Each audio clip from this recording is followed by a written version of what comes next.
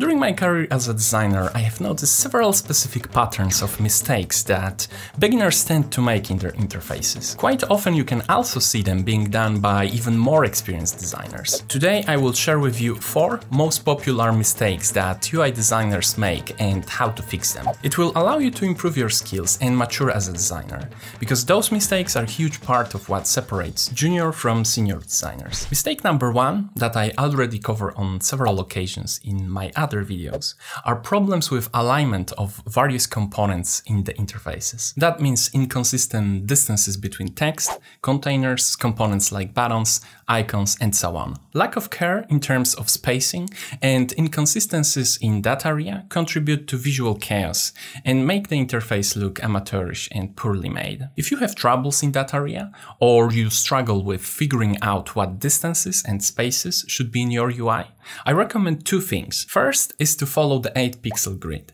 That means all things within your UI should be divisible by 8 in terms of sizes or distances. Thanks to that, your designs will scale better at various resolutions and pixel density of screens, but it also solves problems with what distances and sizes to choose. Second thing I recommend is to go to design system documentation pages that are freely available, like Material Design from Google. Then read and review how they are approaching sizes and distances, and try to follow those rules in your projects. Next issue that I see very often is around icons. Most designers use vector shapes for icons, which is the proper way to do it, but very often you can notice that those vectors are very poorly implemented. What I mean by that is that the icon shape is most often achieved by utilizing strokes.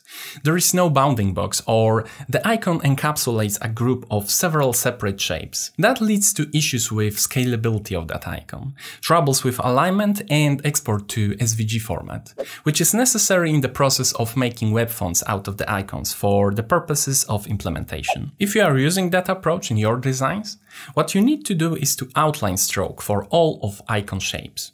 Then collapse all of those shapes to one layer, and then you need to place that layer in front of an invisible one, divisible by 8, creating a bounding box behind it. This will allow your icons to be properly scalable.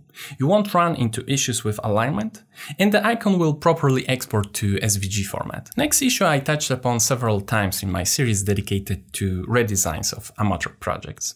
That issue deals with resolution and platforms. When you work on an interface dedicated for a specific platform like iOS iPhone, make sure that you follow platform guidelines in terms of its inherited UI elements like status bar or notches. Not only that, but also be careful on what resolution and screen density that device has. Fortunately, most tools like Figma or Adobe Experience assist with that through their dedicated artboards. If you don't follow the rules of a specific platform, you will eventually run into issues regarding functionality of your designs or their presentation. It will be blindly obvious that you don't know what you're doing if you don't follow them. Last popular mistake I want to cover today deals with colors. Selecting the right color palette for the project is one of the most popular things that most beginners struggle with. Fortunately, I have the entire video dedicated to that specific problem, and you can watch it right here.